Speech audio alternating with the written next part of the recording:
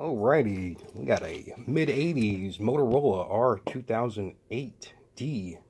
This is the high standard frequency one with the heated oven. And uh, this is um, my own personal piece of equipment here that I use a lot um, for a lot of servicing. And we've got a just an awful mess going on right now. Everything's everywhere. Um, kind of freaked out that this thing uh, wouldn't turn on because they're not fun to fix. Um, you know, a lot of the information on this is if you've got this problem here, it tells you just to replace the board.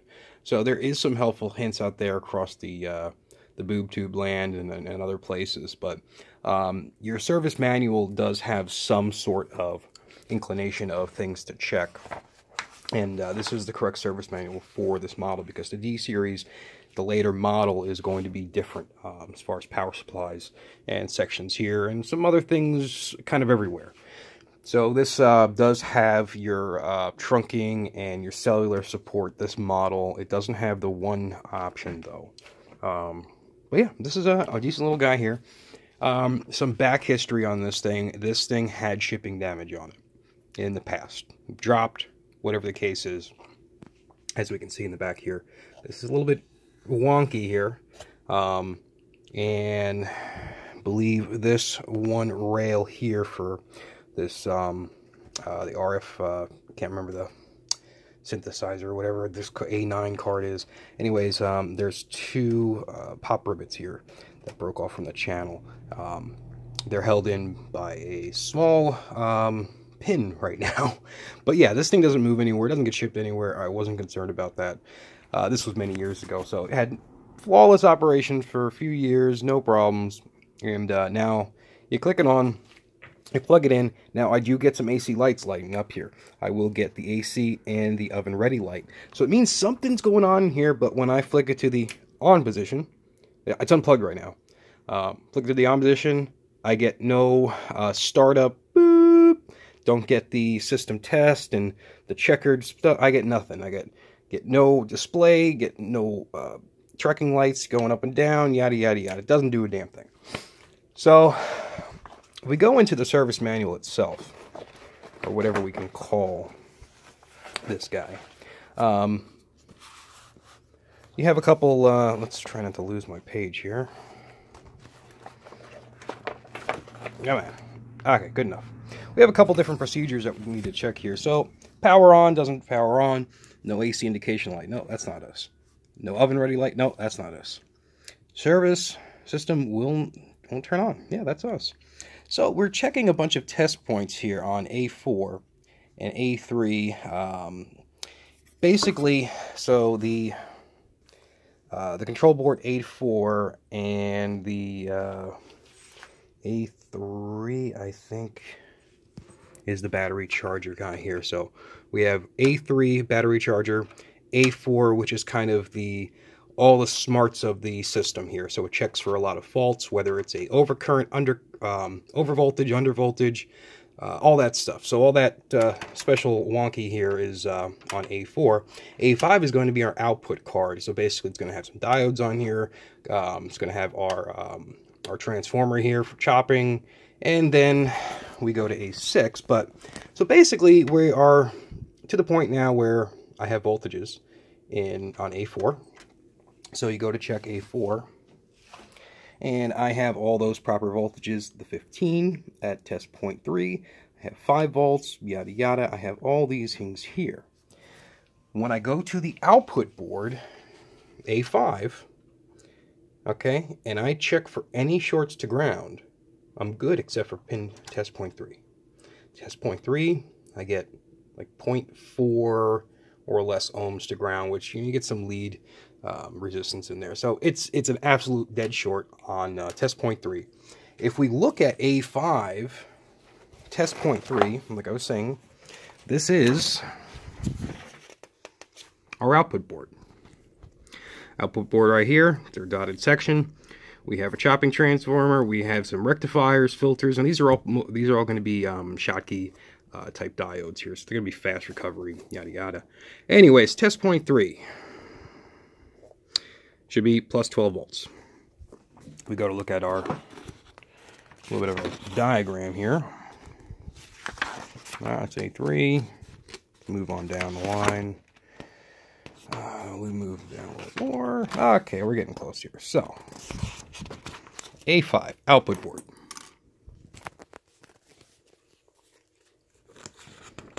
Uh, center tab, transformer, DC. Alrighty, alright. Okay, here we go.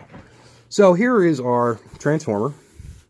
We're getting our switching in here, and we're going to get some DC voltages out after we rectify them. We're going to filter it out, get those spikes out, make it cleaner. And then we're going to filter them with some pretty big caps here. So X6800 mics, 680 mic. I mean, these are, you know, trying to take away all those nasty signals, get us a nice clean.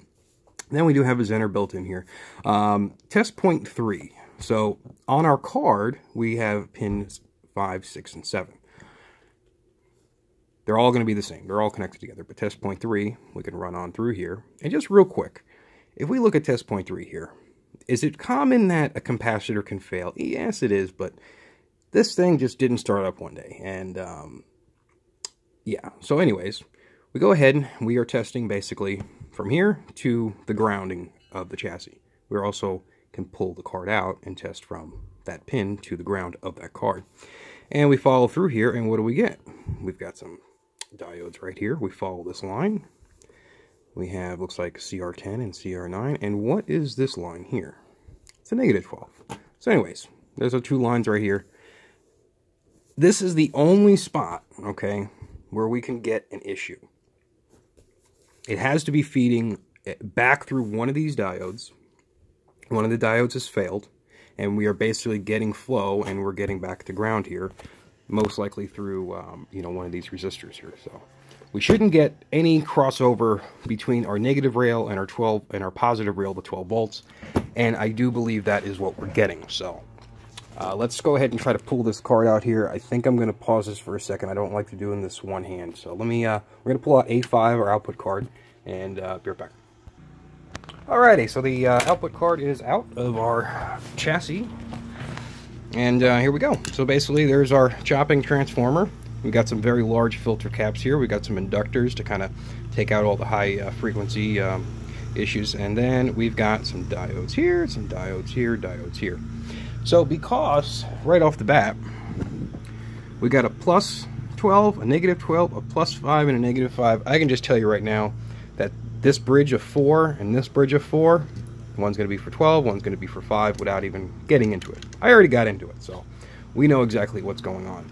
Um, but here is our negative and, and positive 12 volt uh, rectifiers here. And as you can see, we do have a little bit of uh, uh, spike protection that goes across these guys. It kind of uh, levels out the voltages and there's basically a cap and a resistor across the line there. Um, these are not actually in the schematic, and I haven't seen any back service notes, so most likely they're having some issues with some um, shit popping stuff out, uh, maybe inconsistencies in some voltages, and they decided, let's add this afterwards. Because as you can see, CR3, CR4, there is nothing that indicates that they are going across there, so not a big deal. You find this. So the only way to really test a uh, diode when they're in a circuit like this, you're going to have to pull a lead you can't really get any sort of good test here. So let's just show you what our issue is here. We're going to take test point three. And then we're just going to go to the ground of this. So if you imagine if this card was in its slot, we have our rails that slide across the side here. So this is going to be ground. And as you can see, pretty much just an absolute dead short. Now test point four or no, sorry, test point six is going to be the opposite side of this, so it's going to be our negative. So three, four, five, six.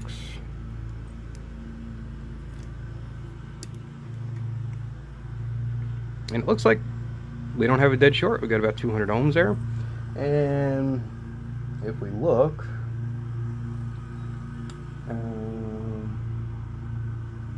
so we got about 200 ohms there, so that seems okay. So what we need to do is uh, we're going to have to desolder CR3, CR4, and if we look at our schematic or, or uh, diagram here, whatever the hell they call this, whatever. We look at the picture, CR3, CR4, right here. CR10, CR9, that's going to correspond to our negative side of our 12 volts. So we're going to pull up just one end, doesn't matter which side, whichever side's going to be easier. And I've already done this already. Um, these are heavily soldered. There is a lot of fat meat on these guys, so you're going to have to use a pretty hot temperature of uh, your iron that was able to uh, really soak the heat away. Always add some fresh solder before you start desoldering stuff. It's, uh, this stuff doesn't like to be staying around for a long time. So let's just pull up this guy again. So I kind of popped him back in there just to show you. So now we've got both legs of these guys up. We have this end all the way across. And um, can I do this with one hand? Let's see. Let's see if I can do this. So we're going to put this on diode test mode. It's going to do a voltage drop across this guy. And we should see about eh,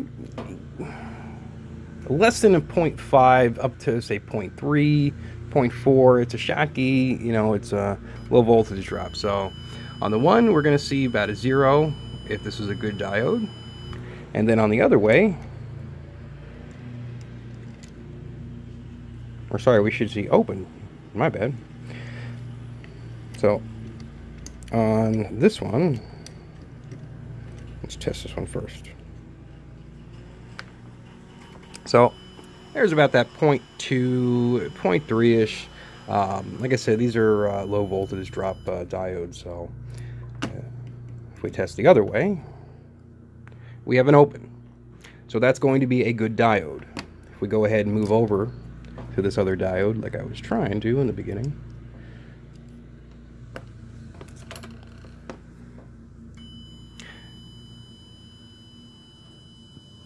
basically dead short. And if we flip this around,